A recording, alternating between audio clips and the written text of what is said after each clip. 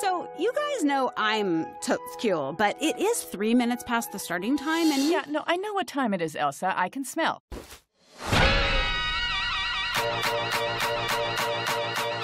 I haven't really been to therapy before. Do the sessions always start like this? Housebroken is a show about a group of neighborhood animals that get together and do therapy when their owners are away. Chico, you said things were going better with you and Kevin? Actually, worse. Kevin left town again. He doesn't show it, but it's hard for him to be away from me. Oh, dude, get off! The cast that we got together, they're all such pros. I'm storming out of here. All the actors really got their characters. get out! You want to go? I'll cut you. What's happening? Pull it together, man!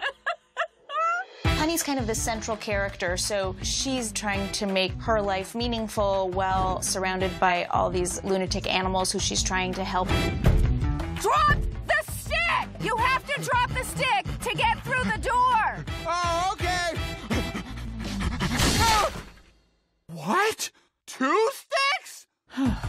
She's a standard poodle, which makes her smarter than the other pets. This group is like a family, a pack, or in your case, a gaze. Yes, yes, I learned the word for a group of raccoons. Only non raccoons use that word.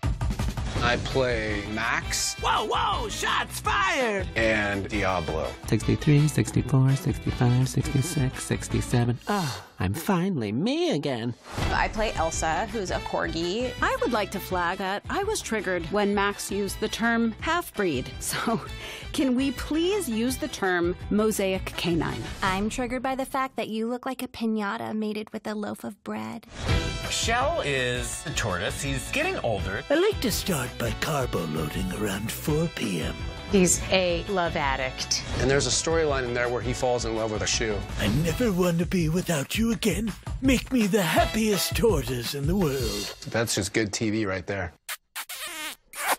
I think one of the things that will make it really relatable is that we all anthropomorphize our pets. We're used to imagining what they're thinking and saying to each other when we're not around. Would it be okay if I sniffed your butt? Yeah, okay.